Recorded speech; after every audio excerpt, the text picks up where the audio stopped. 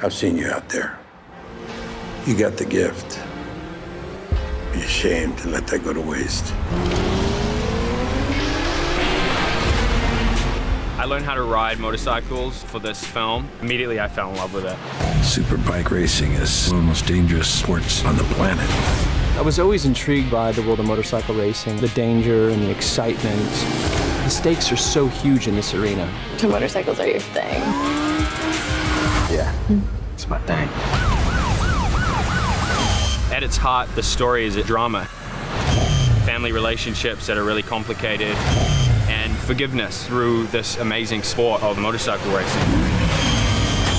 The action is fluid and just electrifying. It's super intense. You want to capture the speed.